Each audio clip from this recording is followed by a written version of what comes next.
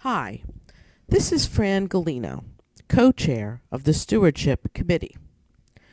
As much as we love UUFN and know it takes money to fund all we do, let's be real.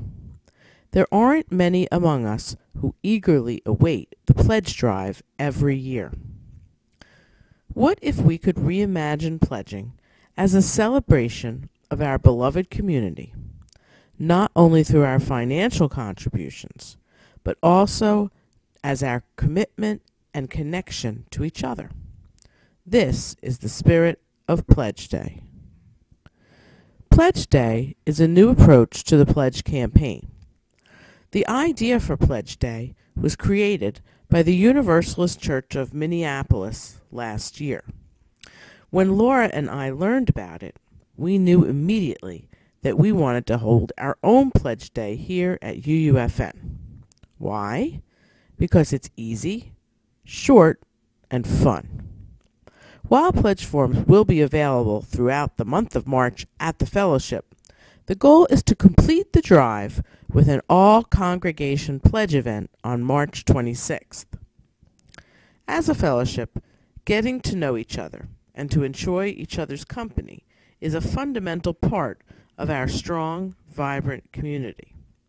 But many of us are usually so involved that when we see each other on Sundays, we're preoccupied with grocery certificates, meeting schedules, registration for activities, and the like. Not on March 26th. Pledge Day is a day of food, fun, and fellowship activities for all ages. A celebration for and by our pledgers, and we want you to be a part of it. On Sunday, March 26th, the fellowship will be open from 8:30 a.m. to 7 p.m. Our Sunday service will be at 10 o'clock as usual, but refreshments and a mix of active, reflective, and fun activities for every age will continue throughout the day from bistro to dinner. The day will culminate with dinner, some entertainment, and the grand announcement of the total number of pledges received during the drive. Pick and choose what appeals to you. Stay for part of the day or the entire day. The only cost of admission is your pledge. You are already a part of our UUFN community.